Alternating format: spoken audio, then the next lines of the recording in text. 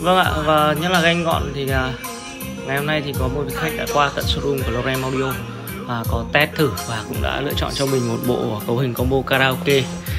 À, và trong cái bộ cấu hình của anh trong ngày hôm nay đấy chính là một cặp loa Wewood W921 một chiếc đẩy X7 DSC và một à, chiếc loa siêu trầm T8i ở à, đây các thiết bị của anh đây. X7 DAC thì à, luôn luôn là lựa chọn à, rất là tốt đối với tất cả các bác khách hàng. Vì cái độ à, thông dụng cũng như là rất là hay, dễ căn chỉnh.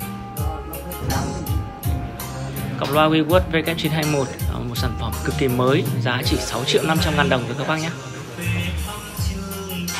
Còn T8i thì rất là chất rồi. Vâng, bên em đang à, làm thủ tục ờ, viết hóa đơn cũng như là kích hoạt bảo hành cho anh. À, cảm ơn cái sự tin tưởng của các bác ờ, các bác khách hàng khi đã lựa chọn Lorem Audio làm điểm đến.